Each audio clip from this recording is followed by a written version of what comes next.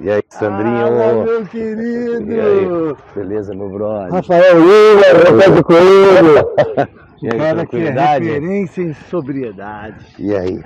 Cara, Tudo bem? muito feliz, cara, de te encontrar aqui no Parque Vila O Lobos. que te traz a São Paulo? Caraca, Hã? é, eu vim participar aí de diversos né, programas aí. Programas, eventos, homenagens. Pô, você tá famoso demais. Poxa, tá é, famoso tô ajudando demais. muita gente com a minha visibilidade. Graças a como você faz, né? Porque Graças a a sua Deus. visibilidade me ajuda até hoje. Quando chegam uns vídeos seus, cara, eu fico tão animado que eu falo assim, caraca, me dá esperança, sabe? Porque você conseguiu transformar sofrimento em conquista, né?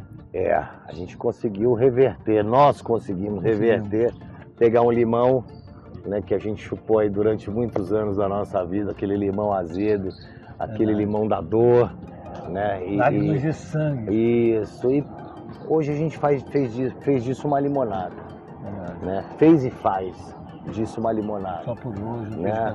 E isso, e podendo né, é, é, dar esperança né, para famílias que passam por esse problema, para vidas que estão nessa, né, sofrendo aí no meio da rua, né, dentro de casa, né, que é, a droga, todos os tipos de droga. né, Eu sou um cara que eu usei todos os tipos de droga, você sabe disso, 70 álcool, maconha, cocaína, cocaína Todo delegacia. crack, tudo, tudo, tudo.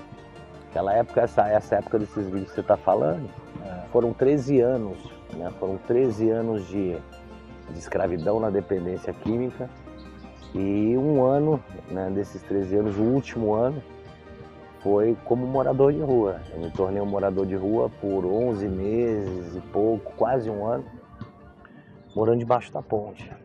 Né? Impressionante. É, as pessoas falam, perguntam para mim, poxa, Rafael, é, as pessoas não te reconheciam na rua? É, Eu falo, não, não me reconheciam. barba, né? Não, nada, todo sujo, muito magro, extremamente magro, né? E ali, né, num, num meio que as pessoas normalmente não param para olhar, né? Sim. Que é um meio ali debaixo da ponte, debaixo de um viaduto. As pessoas nem olham. Hoje a né? gente que vai lá, É, encontra com essas pessoas em situação de rua e Exatamente. resgata. e eu- vamos buscar. Eu e o Rafa, a gente faz É. isso, né? A gente tá, vai até conversar depois, né? Que eu tô até agora nesse momento. Eu vou conversar aqui com você, vou bater um papo e já vou pro centro da cidade resgatar aí um amigo, um amigo conhecido que tá com esse problema.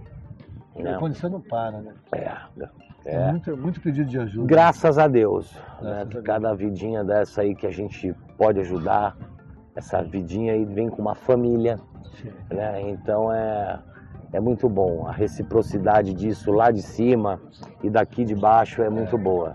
É, eu costumo falar, você, como exemplo mesmo para os pacientes que eu atendo, que você encontrou alegria na sobriedade. Né? Vejo você chegando aqui com a sua esposa, com o seu cachorrinho, com a sua filha, aí vai, dá uma volta, toma uma água de coco.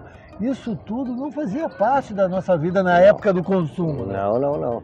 E, e outras coisas, né, cara? Eu, eu sou um cara que eu sou, assim, primeira coisa, muito caseiro. Eu nunca gostei de noite, de, de festa, eu sou né, chamado demais, pô, pra ir show, é, festa não sei aonde. Eu Na recuso. sobriedade, né? É, oi? Não, na minha, sobriedade? na minha sobriedade. Porque no consumo a gente não um mas- pouco casado. é, pô, entendeu? rua É, eu não conseguia ficar dentro da minha casa. Então eu tinha que ficar rodando na rua igual um louco, né? E com a minha cama quentinha ali, mas não, eu queria estar na rua, né? Com os traficantes, com os outros nós que eram como eu. É, E, pô, hoje eu sou um cara super caseiro, né? Sempre fui. isso é muito importante. né? Eu não gosto de beber, graças a Deus, nunca gostei. Eu bebia né, para baixar só a minha noia, nunca curti bebida.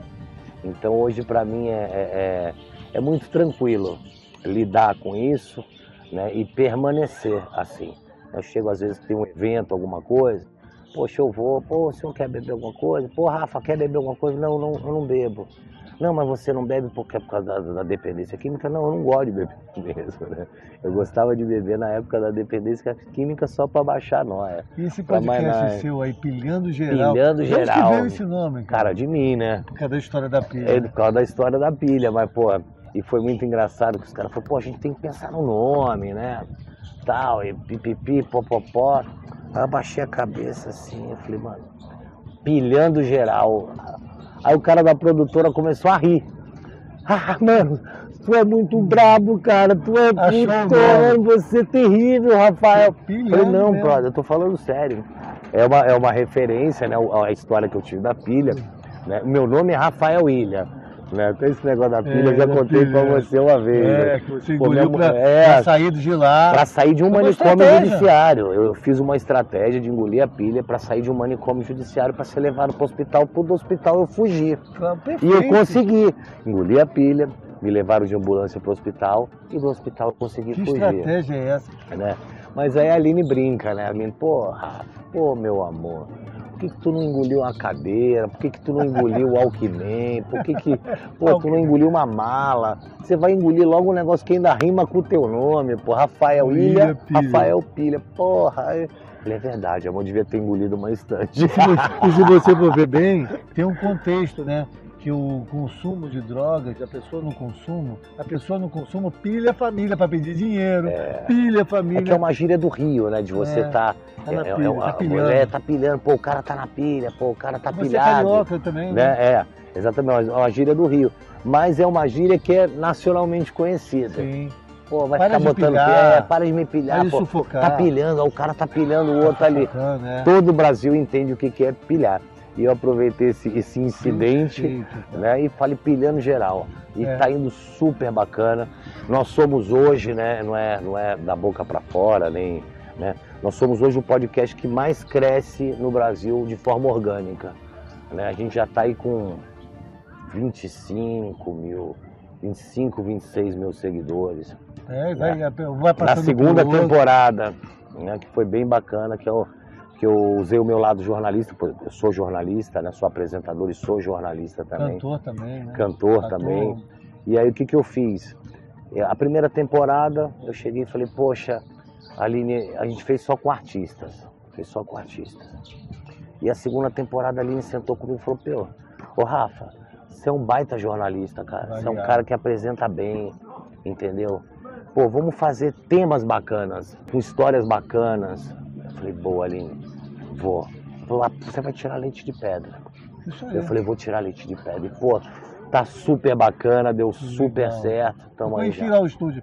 Não, e foi maravilhoso. Eu costumo falar o seguinte: se a pessoa no consumo conseguir algumas coisas ali, um trocado da mãe ali, um trocado do vizinho ali, trocava o relógio por droga com o traficante, depois enganava ali a polícia para subir no morro, imagina na sobriedade. Quando a pessoa vai para a sobriedade, ela é imbatível. É imbatível. Imbatível, cara. E a Tudo força você- que você adquire, né? É, de, de- de nós passarmos por tudo o que passamos, né? De- de- do tombo que a gente levou, que quebrou as nossas pernas e a gente, com as, mesmo com as pernas quebradas, a gente conseguiu ficar de pé de novo. Verdade. Né? Não, e o, e o interessante foi esse encontro nosso num lugar inusitado, né, cara? É, num parque Vila Lobos, pra gente tomar uma água de coco, pra gente dar uma Boa. volta, onde tem esporte, porque a sobriedade é, vai além do que você perder as coisas, é recuperar tudo de volta mesmo. qualidade de vida é muito importante.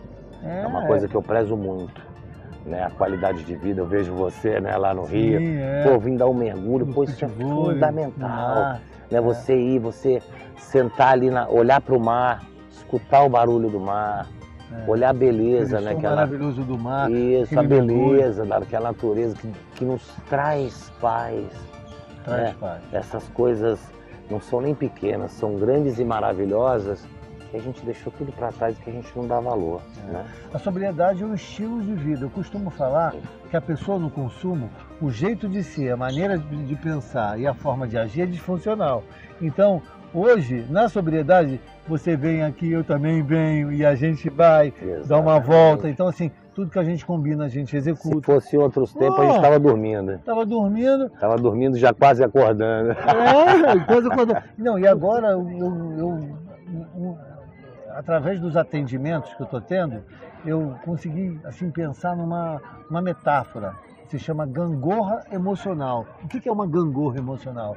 Ou você está no cansaço ou você está no consumo. Ou você está quatro dias consumindo a droga ou você está quatro dias dormindo, se recuperando para consumir de novo. Exatamente. Então você abandona você, você abandona seus sonhos, você abandona sua família, você abandona os compromissos. Tudo que você começa, Tudo. você não termina. Tudo que tem valor. Tudo que né? tem. Tudo que tem valor em, em todos os âmbitos. A gente deixa de viver, a gente vira um parasita humano. Exatamente. Porque a gente está ali vivendo para droga, para usar droga, a gente dorme pensando como que a gente vai arrumar droga amanhã, a gente Exatamente. acorda já pensando como que a gente vai usar droga, a gente não tem mais vida. Exatamente. Né? E a gente, a gente vê essa molecada aí hoje, né, que são chamados de Usuários recreativos. usuários recreativos. Cara, acho que foi um dos piores nomes que eu já escutei na minha vida. É justificar para o consumo. né? Você, você vê uma pessoa usando droga, não, o cara usa de forma recreativa. O cara vai lá, passa sexta e sábado usando de forma recreativa, mas segunda-feira ele tá lá. Não para de ficar de forma recreativa Não, todo dia. né? Aí o cara, não, mas eu trabalho na segunda-feira, beleza. Mas o que essas pessoas não sabem, que é uma coisa que é física, tá? É física. Você usando de forma recreativa, você vai usar ali na sexta. Daqui a pouco você vai usar sexta, sábado. Daqui a pouco você que usava na sexta um pininho, você vai estar usando dois. Daqui a pouco você vai estar usando três. Ah, vou usar no sábado também, de forma recreativa. Sim. Isso não é em um, um curto espaço de tempo, É. é médio e longo espaço de tempo. Mas a chance de você se tornar um dependente químico é, meu, é de pelo menos aí 70, 80%, porque o nosso corpo né, vai criando uma, Sim, uma resistência. Eu, eu costumo falar na palestra que tem o usuário recreativo, esse É. aí, o abusador, aquele que abusa também, é, atropela o cachorro, bate na esposa, acaba na delegacia, e o dependente químico, que era a gente, né? É. Que vivia para usar, usava para viver. Era isso. Quando você começou a contar, eu lembrei de mim. Eu acordava e falava assim, quem vai me, me fornecer droga hoje? É. Eu só pensava nisso. Como que eu vou conseguir? Como eu vou conseguir? Não, quem, até que eu- quem, quem fornece eu sei quem tem. Será que Mas, tem mas da como boa? é, mas porra, tem que arrumar aí pelo menos uns 200 pila pra, né, pra garantir a Como que eu vou situação. conseguir esses 200? Como que eu vou pôr? Minha mãe, não, minha mãe eu já pedi ontem, minha mãe tá Minha desconfiada. tia... Não é, mas eu tenho um primo ali que, né, ligar pra ele, falar que eu quero sair com uma mulherada, tal, tal, tal, Hum. que meu cartão de. A gente, manipulação é conosco, Eu, né? eu fiz um bilhete para minha mãe, para ela me emprestar 500 reais, me passando por um traficante. Só que era eu, ela não reconheceu a letra. e Escrevi assim: se não me, passa, se, se não me pagar 500 reais, eu te mato. Aí, mãe, ó. O traficante vai me matar. Ela toma, filho, os 500. Eu fui usar droga. Então, assim, esses família tipos tá de- doente também, né? ela, ela, ela acredita, mesmo sendo a minha letra, ela nem consegue. A família tá tão doente que, na maioria das vezes, ela não consegue enxergar perceber. as coisas. Óbvio, né? E, e- e toma atitude, né? Quando a gente fala que, que a família está codependente, É, a maioria das famílias, tá, gente? A maioria das famílias fala, não, não todas, não, mas é. a maioria. a maioria, tá? A maioria não aceita isso. Imagina, né? tá eu não tô doente, mas quem tá doente é ele, eu não, vou me tô. tratar, não. Mas peraí, aí a gente interna, né? Que nem a gente já, já aconteceu conosco, A né? pessoa vai internar. Aí a gente interna, o que que acontece? A família, oi, meu filho tá bem? Olha, posso ligar pro meu filho? Olha, é, dá pro meu filho me mandar um áudio? Dá pra... É. Sente a falta do problema. É. E quando não liga, chega em casa e às vezes Vício até desen- é, e às vezes até desenvolve uma depressão, É. né? Porque tá ali em casa, Não tem mais ninguém para reclamar. não tem mais ninguém para a pessoa tem que brigar, olhar para ela. tem que olhar para ela, a casa fica vazia, a vida fica vazia de problemas, acabou os problemas. E aí? Era o único problema que a gente tinha. Cadê ele? Né? Tem, tem, muito, tem muitos pacientes que vivem um paradoxo. É assim, ele até quer parar, mas ele não se vê sem a droga. A pessoa precisa se ver sóbria. Se ver. Fala, não, ó, daqui para daqui pra frente, eu vou ser o cara mais sóbrio do planeta. Viva quem viver, morra quem morrer. Eu vou mudar. Você chegar, né, brother? Você, você- chegar e você Perceber. Isso que você falou é muito bacana. Da pessoa, o do dependente, ele, ele não conseguir se imaginar sem a droga. Não, peraí, ó, um pozinho até lá, mas porra, não consigo viver sem a maconha. Não, vou precisar. né, Mas um, um tirinho, pô, Impossível, não, pô, faz 15 anos que eu cheiro, eu não consigo viver sem isso. Não vai dar para viver, né? Porra, eu Não fumava se enxerga. 70 pedras de crack, É. brother. Quando eu parei, eu fumava 70 pedras de crack por dia, morando é um na milagre, rua, né, nove overdoses nas costas, É um fenômeno. 33 internações. É um E eu falava, meu, eu nunca vou sair dessa. Eu já passei pelas melhores clínicas, já passei pelos melhores psiquiatras, pelos melhores psicólogos. Eu nunca vou sair dessa. Mas eu tinha muita vontade de sair, porque eu também não Era um aguentava mais aquela vida de é. bosta. Joga pra cima, depois joga pra baixo. Não, não aguentava mais, Ah, brother. Não jogava nem mais pra cima a droga. Não. Depois, com o tempo, veio a tolerância. eu percebia claramente assim que a minha dependência era estritamente física, né? Era estritamente física mesmo, né? Era, era emocional, tinha, tinha a parte emocional, Tinha psicológica, tinha, mas a física que berrava mais, sabe? Eu passava mal sem o crack, eu não conseguia ficar Tremia sem o tudo, crack, né? passava mal, ficava super agressivo, eu sabia que era, sabe quando a gente tá com fome? Né? Pô, acordou, não tomou café da manhã, pô, tinha, você Não almoça pensa uma hora, e você fica nervoso, né? Você não pensa mais em nada, você fica irritado com tudo, o nego te dá bom dia, você manda para aquele lugar. Então era isso. E eu falava, meu, eu nunca vou me conseguir me livrar disso. Eu já passei pelas melhores clínicas do país e os caras não conseguiram resolver. Quando que eu vou sair disso aqui? E graças a Deus tô aqui hoje. O Caralho. cara, o terapeuta Sandro Barros, Rafael. o cara foi até homenageado pela ONU, É né, devido ao trabalho de excelência que ele faz. É Né, e nos tornamos amigos aí através né, Nosso o- é, do, do- do Chico Chico. Campabelo, nos conhecemos e depois estreitamos Fizemos mais ainda a live, nossa, né? nossa amizade Através do Serginho. através do Sérgio Von né, do cabeção lá da Malhação, É. que o Sandro foi meu, minha, meus olhos, meus braços, É, minhas pernas no. Rio de Janeiro. A equipe poder top, trazer. né? E graças a Deus, Lá, é, a gente articulou e tudo. foi graças a Deus, pô, o Sérgio tá bem. Tá pro segundo ano já. Até hoje, até hoje, né? A gente não sabe o dia de amanhã. É, é.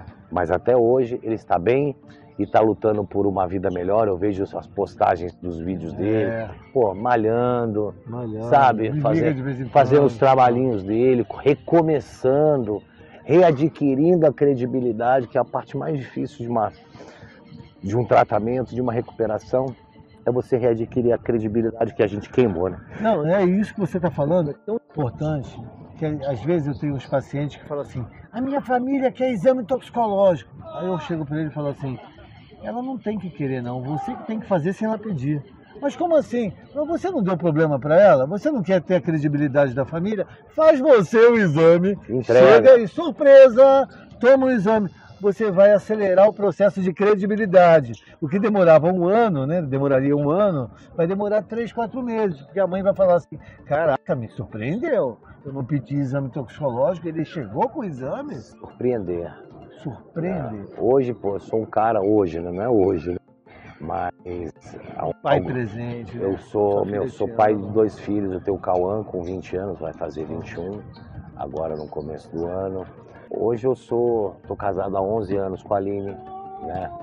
É, a minha última internação por causa de drogas foi em 2000, né? Acho que foi em fe- fevereiro, março de 2000, e eu fiquei quase dois anos internado porque eu quis ficar. Né? Já vão se fazer aí 23 anos, né? Eu não, eu não tenho mais problema com as drogas, né? Eu tenho meu filho de 20 anos, a Laurinha com 8, sabe? Vou dormir 10 e meia, 11 horas da noite. E hoje, pô, é, o meu relógio biológico me acorda entre 5 e 40, 6 e 20 da manhã. Acordo, vou lá, lavo a louça pra patroa, né? faço a minha higiene, arrumo a minha cama e ó, né? academia. Vou pra É academia, pá, dou uma suada, dou uma corrida, faço uma musculação e assim vamos. E assim tem sido desse jeito nos últimos anos, entendeu? É muito bom, cara, porque você vai recuperando o seu dia a dia, o seu jeito de ser, a maneira de pensar e a forma de agir, ficar alinhado com a recuperação. E costumo falar que existe uma diferença de estar limpo e de estar em recuperação. Né? Ele, "Ah, eu tô limpo, legal, tá limpo. Mas e aí, você está em recuperação? Tá lavando uma louça, está saindo para ir no banco com a sua esposa, aí sai com a sua filha, como hoje aqui, a gente vai dar uma volta com a sua família. Elas, elas, elas foram para lá. Vamos lá atrás delas? Vamos, vamos lá, vamos lá.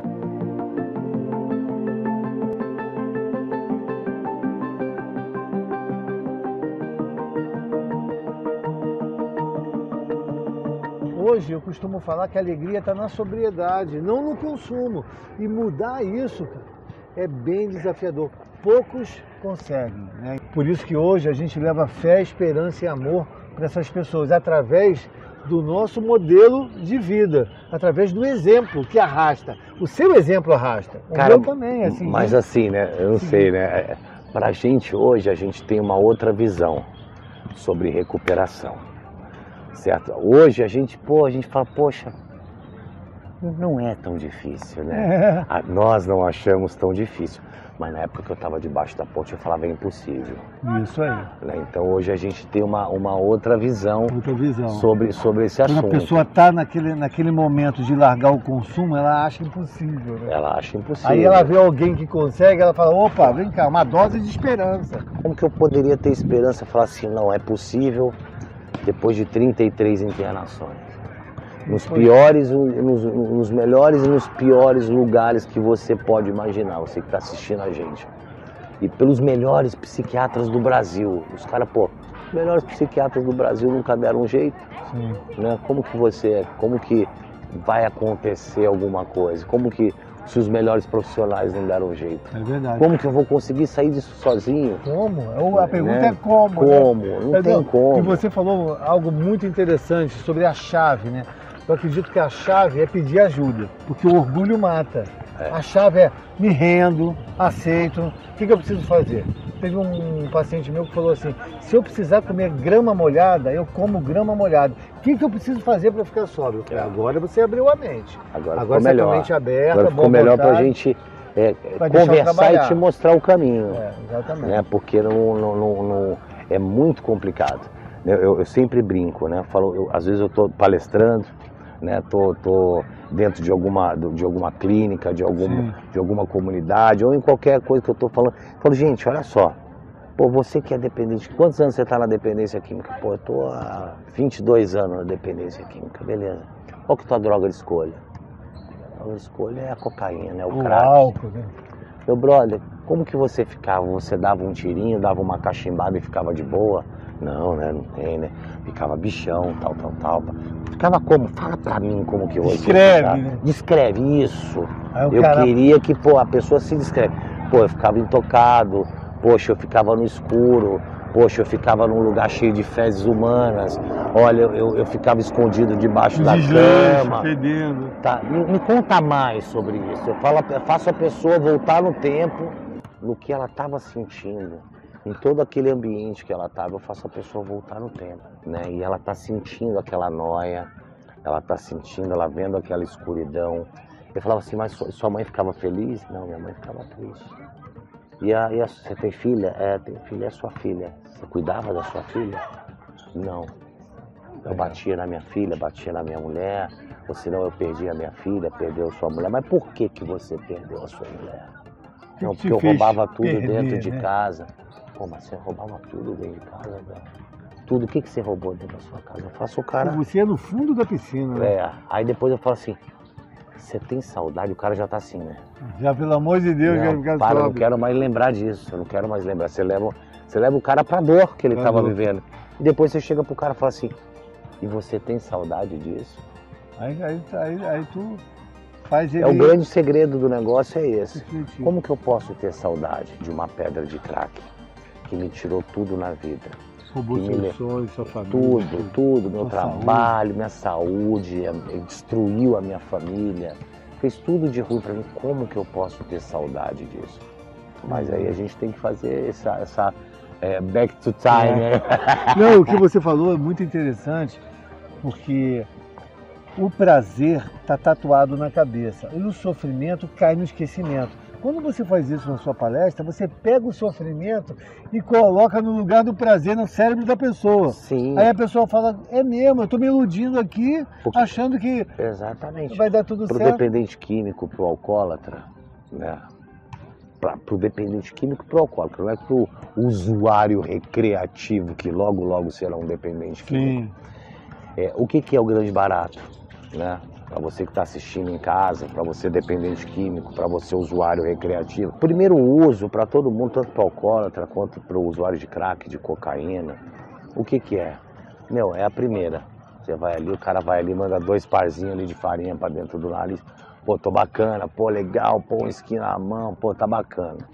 Depois do segundo pino, você já não tá tão bacana. Aí você já tá, ó, Será que meu nariz está sujo? é, é, já começa a se preocupar Tô me olhando é, estranho. Isso. O que, que aquela pessoa ali tá me olhando? Será que ela tá percebendo que eu tô louco? É. O craqueiro nem se fala, né? Eu, como já disse pra vocês, eu fumava 70 pedras. Pra... Dessas 70 pedras, a única que me dava prazer era a primeira tragada Durava de uma dois segundos. pedra. Era a primeira tragada de uma pedra. Né? Uma pedrinha dividida em cinco, seis. né? Era a primeira tragada de uma pedra. As outras 69,5 não me dava prazer nenhum. É igual a cocaína, é igual o álcool. Mas com aquela, mas o cérebro encanta, ah, ele faz você acreditar que as outras vai dar É, onda. é- é o que, é, o que, é o que a gente chama da memória eufórica. A memória eufórica, ela guarda o quê? Somente o prazer da que a Da droga primeira. faz. É só o prazer que a droga te traz. Isso aí. né? Mas a gente esquece da dor que a droga nos trouxe depois, da destruição. Poxa, mano, me deu maior vontade de dar um tiro. Né? Opa, hoje, mano, eu, graças a Deus, porque eu, eu, eu associo né, tudo que eu passei à droga. Então eu lembro dos momentos quando eu era viciado em cocaína, o que, que a cocaína fez com a minha vida. Depois quando eu passei pro crack e o meu corpo foi desenvolvendo uma resistência muito grande. Vira, uma tolerância. Cada vez né? mais a tolerância, Aí a você tinha que resistência consumir física. mais, ter aquele efeito que não tinha. Sempre, sempre. É a mesma coisa que o cara que fuma maconha. É a mesma coisa que o cara Preguiça fuma maconha. mental. Não, o cara que fuma maconha não é. Eu, quando eu lembro quando eu comecei a fumar maconha, porra, dava dois, três, quatro peguinhos já ficava bem, brother. é. Depois Aí depois- baseados, Não, nada. depois, mano, eu fumava um baseado, um baseado e meio nada. Entendeu? Não bate mais. Não, porque ah, o seu corpo vai criando uma resistência. Tem uma frase muito bacana que tem tudo a ver com o nosso encontro, que até postei na minha rede social. A cocaína destrói o império, a maconha não te deixa construir um. É, não para nada. Caraca. não Vamos, vamos ali não. falar Vamos. com as meninas? Vamos Vamos, indo lá, vamos indo lá. Tá lá. Ó o tio Sandro. Ah, sushi. Ô, E aí? pai. Dá um beijo no tio, dá um beijo um no beijo tio. é. Tá com vergonha? Ela tá com vergonha. É, tá olha só o grande. tamanho que tá, brother. Tá grande. Vamos passear com o tio? Vamos dar um passeio. Algo que é bem bacana na sobriedade é a família toda junta. Aí, a É, filha, todo mundo de esposa, boa. Cachorrinho. É. É. O que, que você comprou aí, de Laura? coco. Deixa eu ver. Deixa eu só dar uma olhadinha, Ah, amor. ela comprou. Você sabia que tem uma filha de. Sério mesmo? Uma filha de pimenta? Deixa eu ver, deixa eu ver, Laura. Tarde muito. Muito. Deixa eu ver, deixa eu só ver, meu amor. Depois você vê. Nossa, Ai. aqui. Mostra pro papai. Eu só quero ver. Não, eu vou te colocar e você vai ter que comer tudo. Você vai Tá ter bom, vai, então me Vai, dá. vamos lá. É desafio. Desafio, mas é ardida? Não vou falar nada. Eu quero ver se o papai aguenta essa. Não, pô, é de, é de pimenta? Vai. Pra vocês abre a boca, abre a Abre É boca. maldade. Abre a boca, dá uma mordida e engole. É ardida. É ardida. É muito. Bora É, uma água de coco. Bora É ardida pra caramba. Tá passando mal. Nunca tinha visto essa pinção. Disfarça, disfarça, olha pra Eu queria um frente. saquinho dessa só pra mim. Por que que não pega ali, meu amor? Não, eu não quero. É muito, é muito ardida. Esse bem-estar é o que eu passo para os pacientes, encontrar alegria na sobriedade. É isso que é importante, levar paz, levar esperança para a família. A família merece isso e ele também merece. O importante é ele tomar uma decisão. Ó, a partir de hoje eu vou ser uma nova pessoa, vou trabalhar isso, vou contratar um terapeuta, vou em grupos de mútua ajuda, vou pedir ajuda, que é um ato de coragem e sabedoria. É. Não é Vencer vergonha, orgulho. cara. É, não é vergonha nenhuma. mata. Você perceber que você, né, que aquele, aquele, aquela, aquela, aquele chavão que fala muito na dependência, que você é impotente, né, que tá ali na. Ser impotente perante o álcool e a droga. Né? E é mesmo. Um dependente químico é é impotente. Não pode ir na primeira dose. A, a- a- a água de coco.